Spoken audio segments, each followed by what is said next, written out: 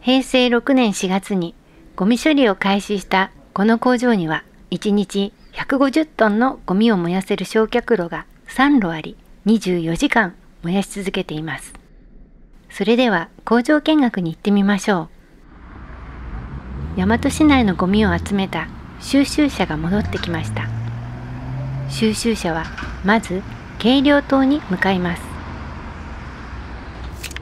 地面に設置された大きな測りに収集車が乗るとコンピューターが自動的にゴミの重さを測り記録をしています。この測りは一度に30トンの重さまで測ることができます。この大きな鉄の扉が開くとそこは工場の中です。収集車が入ってきました。ここはプラットフォームと呼ばれ収集車がゴミをゴミピットに投入する場所です。番号が書かれた大きな扉の上にある信号が青色になるとゴミを投入できます。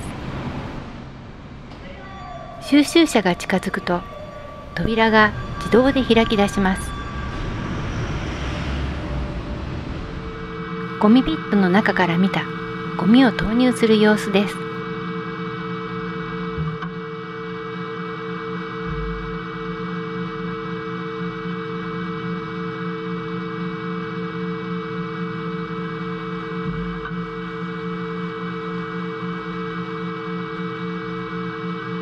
1台の収集車が投入するゴミの量は約1トン。1日に100台以上の収集車がゴミを投入しにやってきます。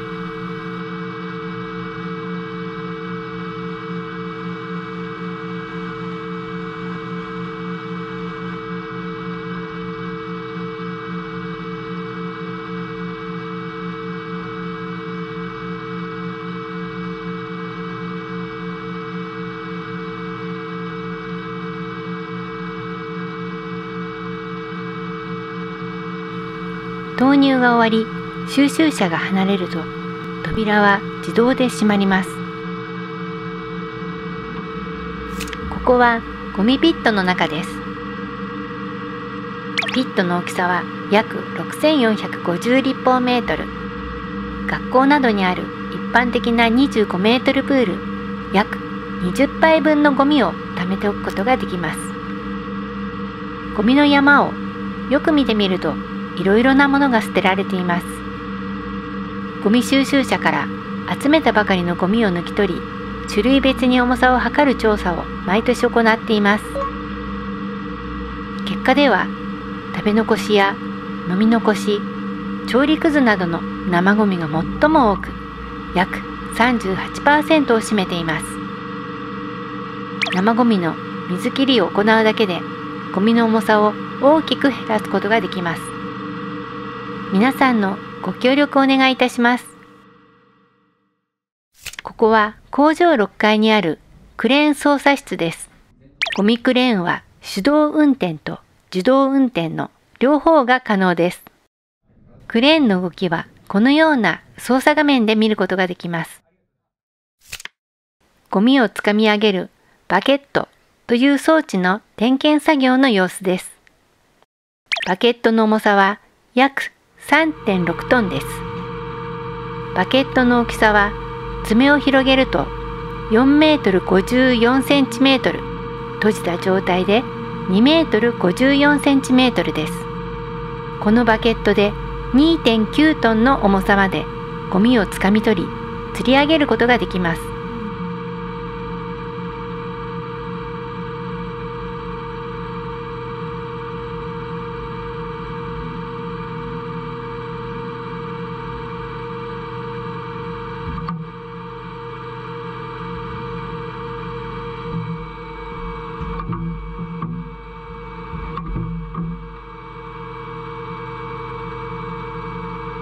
ゴミクレーンには3つの役割があります。1つ目は移動です。プラットフォームから投入されたゴミが投入扉の前に山積みにならないよう積み替えることです。2つ目は攪拌です。ゴミが焼却炉で安定して燃えるように生ゴミなど水分が多く燃えにくいゴミと紙くずなど燃えやすいゴミを混ぜ合わせることです。3つ目は投入です。ピットに溜まったゴミを1炉あたり20分から30分に1回程度焼却炉の入り口となる投入ホッパーに投入することです。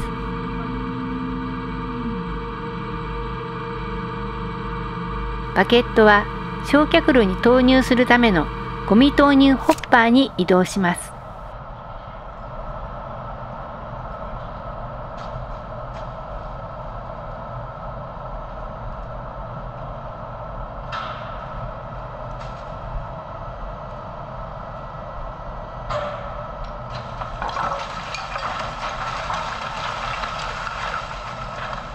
投入ホッパーに投入されたゴミは一定量ずつ焼却炉に送られていきます。ここ工場4階には機械設備が詰まっています。焼却炉の扉がありました。今は火が消えているようです。焼却炉の中を見てみましょう。内部はストーカーと呼ばれる格子が階段状に並んでいます。ゴミはこの格子の上に落とされ、格子が前後にゆっくりと動くことで、ゴミは燃えながら上から下へと移動していきます。一旦運転を始めると、24時間ゴミを燃やし続けます。焼却温度は850度から950度の高温になり、ゴミは完全燃焼し、灰と排ガスになります。ゴミ、焼却処理の流れを示した図です。焼却炉から出た灰は、灰コンベアで灰ピットへと運ばれていきます。焼却炉から出た排ガスは、有害な物質を除去する装置を通って、煙突へと流れていきます。まず、灰はハイコンベアでハイピットに運ばれます。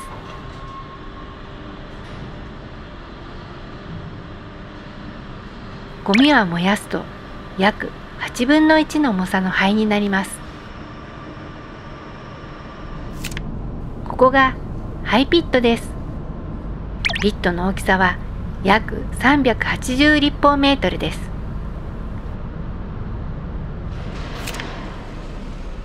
灰を搬送するトラックに積み込むためのクレーンです。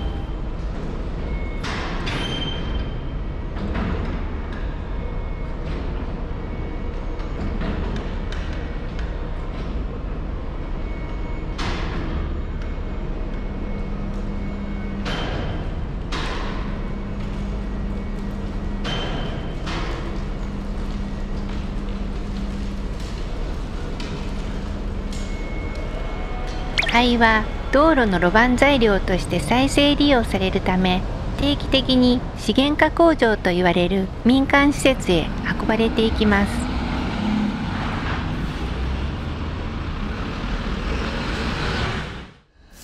ゴミ焼却によって発生した排ガスは塩化水素窒素酸化物などの有害な物質を含んでいます。この装置は脱塩反応灯と呼ばれ排ガスに含まれる塩化水素を除去します。脱塩反応灯を通った排ガスは次にバグフィルターと呼ばれる装置に流れていきます。この中には直径 16cm 長さ 5m70cm の円筒形をしたロフという特殊ガラス繊維で作られたフィルターが720本入っています。このフィルターで排ガスに含まれる微細なすすなどを除去し梅炎による公害を防いでいます。塩化水素やすすなどが除去された排ガスはバグフィルターの上部から出ている太い配管を通り脱硝反応灯と呼ばれる装置に流れていきます。ここでは排ガス中の窒素酸化物を除去しています。有害物質を除去した排ガスは煙突へと流れていきます。工場内部から見ると煙突は3本になっています。消去路が3路あるので煙突も同じ数だけあります。ここが煙突の先端部です。3本出ているのがはっきりわかります。煙突の高さは地上55メートルあり、東京ディズニーランドのシンデレラ城が地上51メートルですから4メートル高いことになります。これは白煙現象といって気温が低い日などに白い煙が見えることがあります。それは水蒸気です。煙突からは有害な成分を取り除かれたきれいな排ガスを大気に放出しています。最後まで見ていただきありがとうございました。大和市環境管理センターからのお願いです。家庭のゴミを出すときは分別・収集のルールを守りましょう。